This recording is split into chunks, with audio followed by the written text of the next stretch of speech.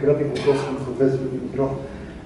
Госпожа Михайлова спомена вече на няколко пъти за различни програми, които дипломатически институт има в тази сфера, които са най-вече насочени към обучение на, на дипломати, на представители на държавната администрация. Любопитно ми е УНСС държава този огромен експертен капацитет и опит в различни програми, свързани с международни отношения, енергийна сигурност и така нататък. Вие на този етап бихте ли представили какво правите за развиване на чисто академичното сътрудничество в тази сфера? И да, после ще помоля да вкараме работа. Ние в момента имаме няколко магистърски програми, които са насочени към общо взето енергийния бизнес, но някои от тях и бъдещи програми, да не издавам още проекти, се занимават точно с тези неща. Имаме бакалавърска специалност економика на транспорта и енергетиката. Имаме няколко магистърски програми също а, по поръчка на големи компании, които се занимават с енергетика. Отделно има и научни проекти. Съвсем скоро наш екип спечели такъв проект участие в консорциум, свързан пак с енергетиката по хоризонт Европа. Така че отделно от сътрудничеството с други университети има и други такива инициативи, но фронтът е доста широк, нали? има място за, всички да работят в тази посока. А, това, което а, така ми направи впечатление, обаче от вчерашното заседание на Конституционния съвет към Министерски съвет, е, че през годините липсва една такава посока към образователните институции и изследователските организации, която да бъде подпомагана. Сега ние го правим това някакси, усещайки на къде вървят нещата, като изследователи, като преподаватели, които имат такива апостолски задължения това да го правят. Но трябва държавата да казва, това за нас е приоритет и ние искаме изследване от вас, искаме да създадете тази програма. Нали, може би в Министерството на външните работи е малко по-различно, защото там се задава посоката.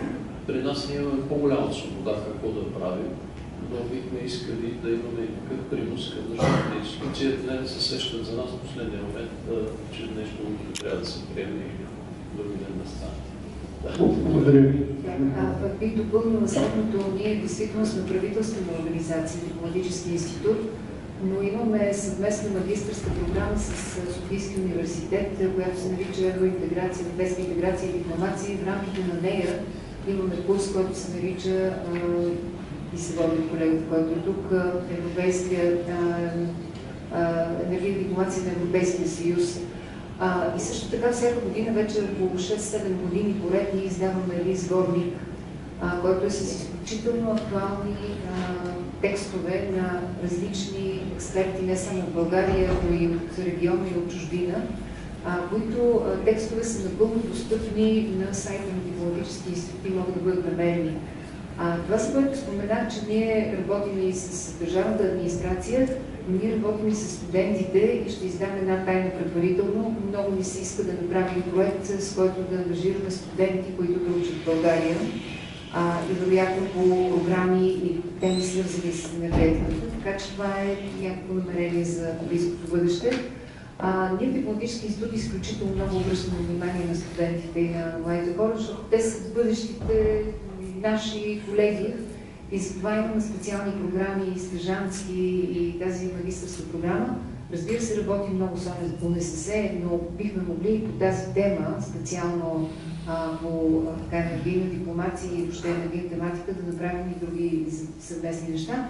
Така че тази среща, Янко, тук е една възможност да публично да заявим едни добри намерения и да ги реализираме в общуването между нас, защото действително държавните институции имат нужда от подкрепата на, академичното мислене и свободата на академичното мислене.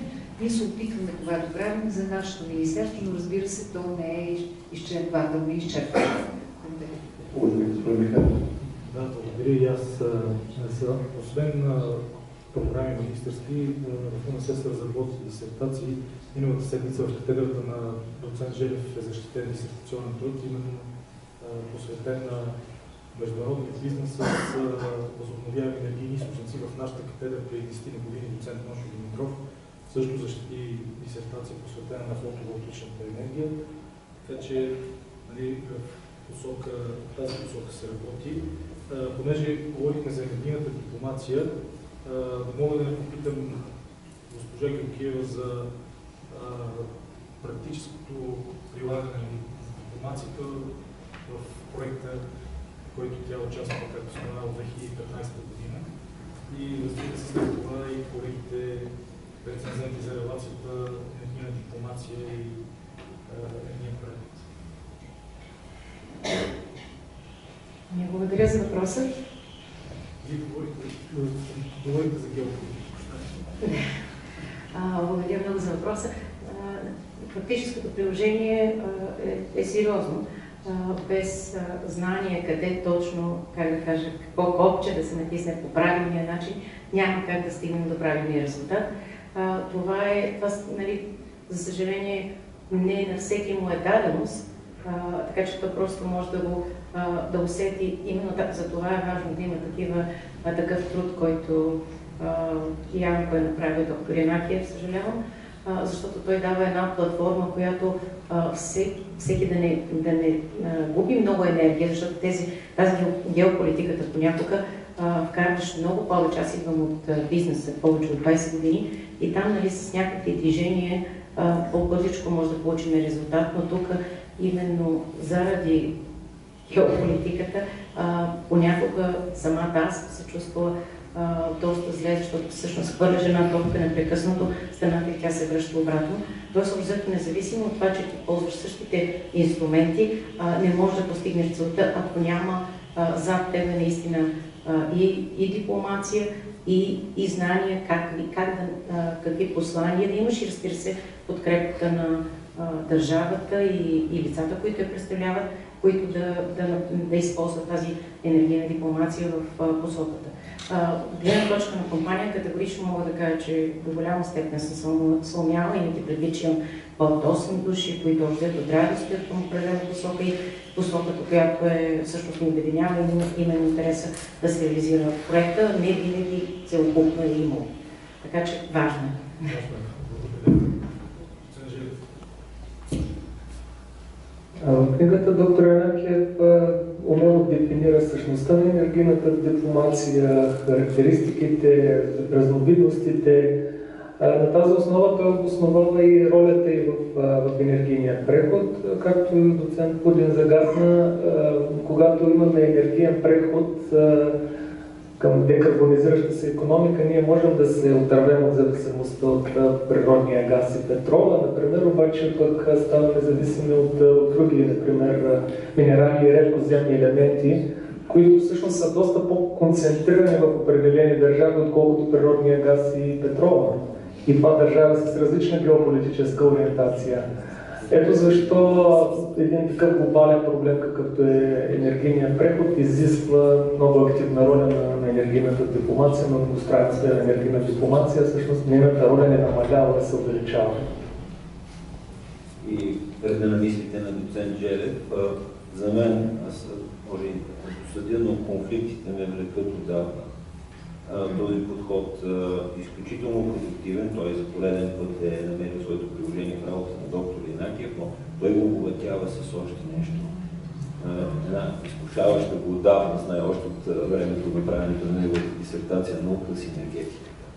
И релацията аз се виждам простичко. Проблемите не стават по-малко, енергийната дипломация е призвана да бъде основен инструмент, който да намира техните решения. Благодаря.